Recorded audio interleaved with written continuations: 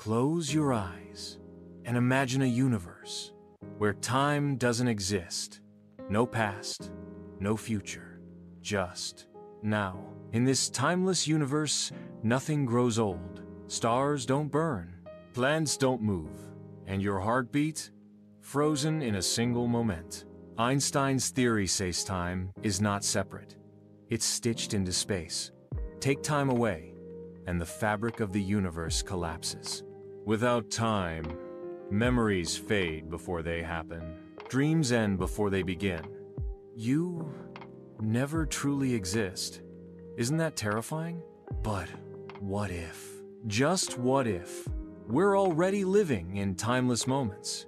Are your choices really your own? Or echoes from something outside time? If time stopped, would love, loss, and life still mean anything? Follow SciVerse and step outside time, one mystery at a time.